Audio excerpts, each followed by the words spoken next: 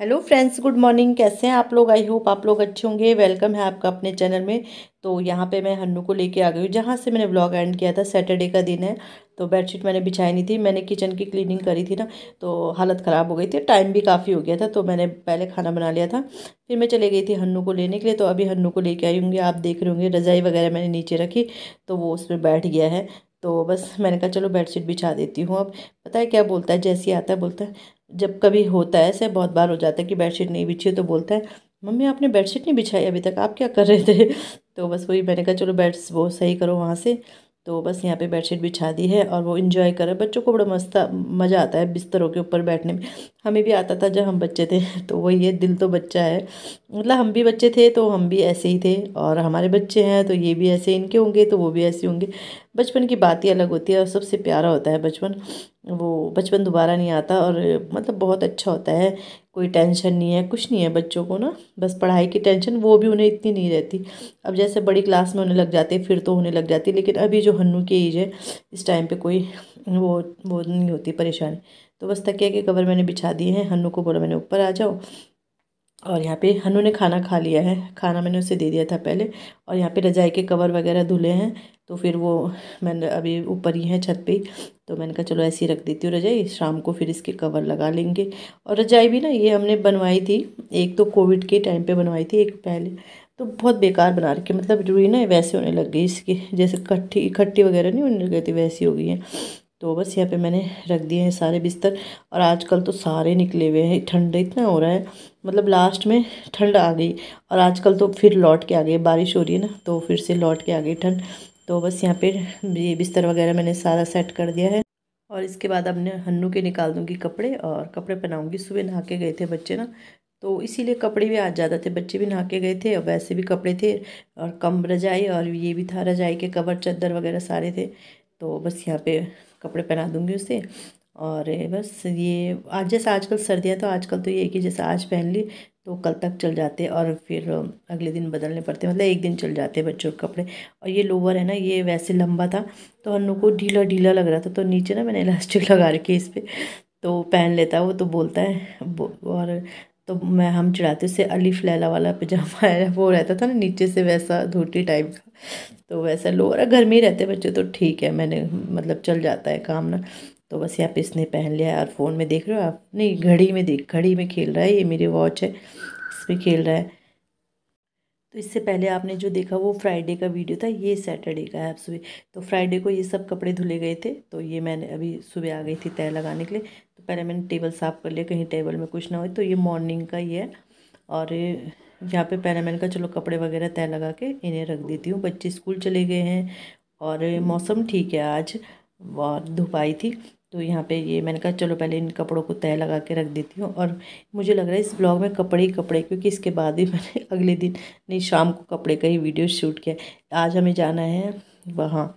आज हम, ये सैटरडे का दिन है तो आज हमें जाना है ससुराल।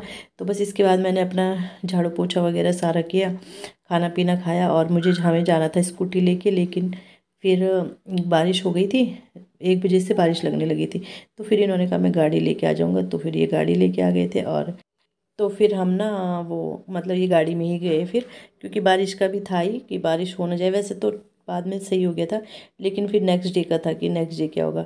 और इसके बाद मैं आपको सीधे शाम को मिलूँगी और पता है उसमें भी मेरे को, मैंने कपड़ों का ही वीडियो बना रखा, मुझे ध्यान ही नहीं रहा कि मैंने इससे पहले कपड़ों का ही सूट कर रखा है, मैंने कोई ब्लॉग बनाया नहीं। तो यहाँ पे शाम का टाइम है, तैयार हो गए हैं हम, और मैंने कहा ये कपड़े तय लगा के रख देती हूँ, अभी लेके आई हूँ मैं ऊपर से। तो मैंने कहा, नहीं तो फिर अगले दिन के लिए काम बढ़ेगा ही तो वो ये और मुझे अभी हँसी वो एडिटिंग करते समय ना कि कपड़े ही कपड़े हो गए पूरे ब्लॉग में। कोई बात नहीं, चलो, एक ब्लॉग ऐसा भी।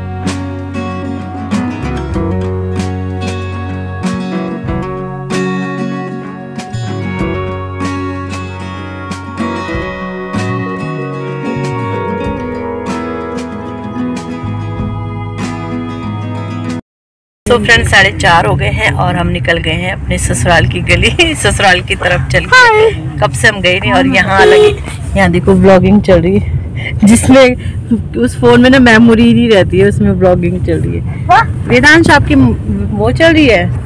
ब्लॉगिंग वीडियो चल रही है। हाँ वीडियो चल रही है तो वीडियो बन रही है। और बस अभी आइए वैसे हमारा प्लान था कि स्कूटी लेके जाऊँगी मैं और ये वहीं आ जाएँगे। ड्यूटी से खाना मैं यहाँ से पैक करके ले जा लूँगी इनका।